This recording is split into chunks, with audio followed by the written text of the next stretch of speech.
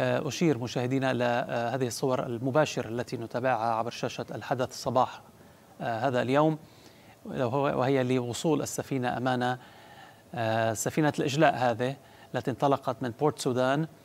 تصل في هذه اللحظات إلى ميناء جدة على متنها 1687 شخصا وذلك من 58 جنسية وكانت المملكة العربية السعودية آه، آه، كان لها دور سباق وكان لها دور ريادي في عملية الإجلاء التي آه، لم تقتصر على البعثة الدبلوماسية السعودية أو الجالية السعودية بل تعدد ذلك إلى عملية إجلاء كبيرة وكبيرة للغاية. كنا تابعنا أيضا على مواقع التواصل صور كثيرة وفيديوهات بثها من تم إجلاؤهم. من توجهوا إلى السفارة السعودية من الجاليات التي على متن هذه السفينة كما تظهر الأخبار العاجلة على شاشة الحدث الأغلبية يبدو أنهم من إندونيسيا 560 إندونيسيا على متن هذه السفينة بالإضافة إلى 239 من اليمن و198 سودانيا ممن آه، آه، يعني اختاروا الإجلاء على متن هذه السفينة. سفينة الإجلاء أمانة تعتبر أكبر عملية إجلاء منذ انطلاق الأزمة في السودان.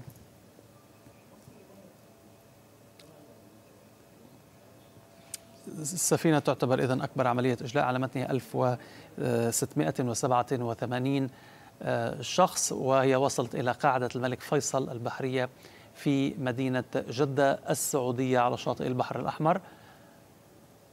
وكما سبق وذكرنا تعتبر هذه العملية هي أكبر عملية إجلاء منذ لحظة انطلاق الأزمة في السودان.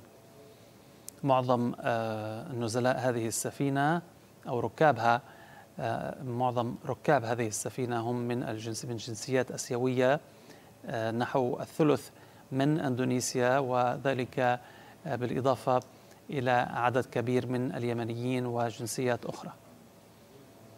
عدد الجنسيات لركاب هذه السفينة نحو 58 جنسية. أعود إلى الحوار مع ضيوفي. كنا نحاول الحديث مع السيد عطاف. آه، نحاول الوصول مرة جديدة للسيد عطاف ضيفي من الخرطوم مع آه، تقطع الاتصالات هناك. السيدة أسماء الخروج القيادات التابعة للنظام السابق بهذا الشكل يعني كيف يمكن وصفه بأقل أقل تقدير؟ نعم. يعني بالطبع خروج السيد أحمد هارون الوزير السابق في نظام البشير وكان أيضا هو آخر رئيس لحزب المؤتمر الوطني المنحل بعد الرئيس البشير وأيضا متهم في القضايا أمام المحكمة الجنائية الدولية مع الرئيس البشير وآخرين. آه، خروجه آه، هو يؤكد الهواجس والشكوك والظنون وأيضا اتهامات قوات الدعم السريع وآخرين من الأحزاب السياسية بأن آه، من فجر هذا الصراع هم الإسلاميين من فلول النظام السابق وأنهم هم من يشعلون المعركة ويشاركون فيها. ليس هذا الإعلان الأول. كان هناك أيضا بيان للسيد علي كارتي وزير الخارجية السابق ومسؤول الحركة الإسلامية ويقول يقول أنهم في انتظار يعني إشارة الجيش للمشاركة في المعركة. هناك كثيرون يرون آه، الآن آه، أن خطاب السيد أحمد هارون هو مضر بمعركة الجيش السوداني آه، أمام قوات الدعم السريع. هذه المعركة التي حاول فيها الجيش أن يحشد المواطنين معه وأنه هو الجيش الوطني الذي يواجه تمرد قوات الدعم السريع التي وصفها بالميليشيا الخارجة عن القانون.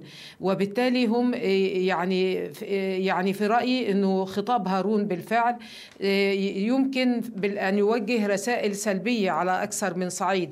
على الصعيد الداخلي في السودان هناك قطاعات واسعة هي ضد النظام السابق وهي الآن عندما تدرك أن من ينخرطون أو يريدون الانخراط أو يساعدون في هذه المعركة هم قادة الإسلاميين الذين ساروا ضدهم وأسقطوا نظامهم في عام في أبريل من عام 2019 سيكون لذلك تأثيرات سلبية. هناك أيضا قوى إقليمية ودولية هي ضد يعني هؤلاء الإسلاميين وبالتالي وجودهم في هذه المعركة هو يعني سيضر بها.